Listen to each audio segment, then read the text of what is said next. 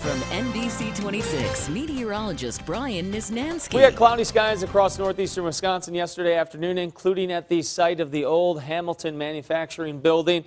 You can see the cloud cover there on this photo from Lance uh, from Manitowoc. All right, this morning uh, we have a frost advisory out there this morning. Mainly clear skies and calm winds have allowed our temperatures to fall off very quickly this morning. Uh, looks like we were spared of a hard freeze here in Green Bay. The temperature is actually starting to rise already, up to 35 now in Green Bay.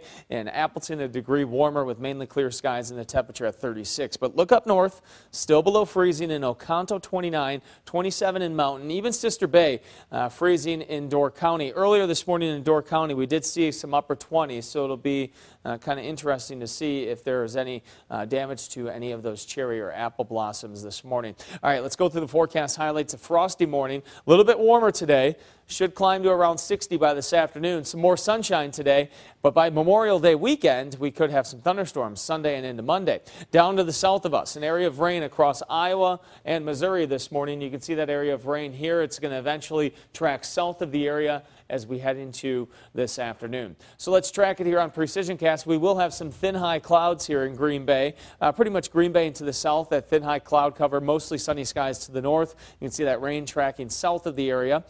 Overnight tonight, mainly clear skies, and then a cold front swings through as we head on into this uh, tomorrow afternoon. And with that cold front, uh, chance of a spotty shower. Won't be much, won't last very long, just a very small chance of a sprinkle or light shower tomorrow afternoon. Your forecast for today 55 degrees by noon, 63 degrees by 4 o'clock. Your 10 day forecast. Again, that slight chance of a shower tomorrow afternoon, 66 on Friday, 73 on Saturday. Sunday, Chance of thunderstorms. In fact, storms look pretty likely Sunday and on Memorial Day. 72 on Sunday, Memorial Day 70, 72 degrees next week on Tuesday. Although I have procrastinated on planting some flowers, I did notice that some popped up on their own the in my perennials. yard. Yeah, yeah, the perennials did. That's a, you know your gardening terms. Oh yeah, the perennials and the perennials will do a little bit better. Yeah. Most of them will do uh, a little bit better than your your annual flowers as far as uh, the freeze goes this morning. That's good to know. Yep. Well, still ahead this morning, Mad Dog.